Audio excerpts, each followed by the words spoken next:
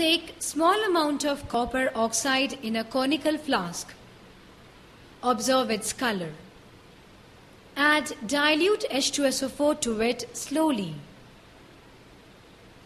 Warm a little. Observe the change in color. The black color of copper oxide changes to blue color copper sulfate solution. The chemical reaction is shown here.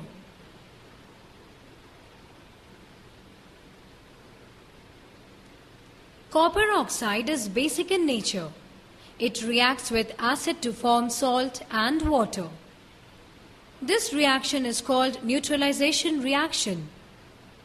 In this reaction, H plus from acid reacts with O2 minus ion or OH minus ion to form water.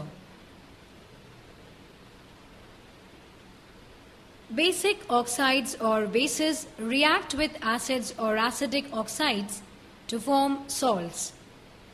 Salt is an ionic compound which is made up of positive ion from base and negative ion from acid.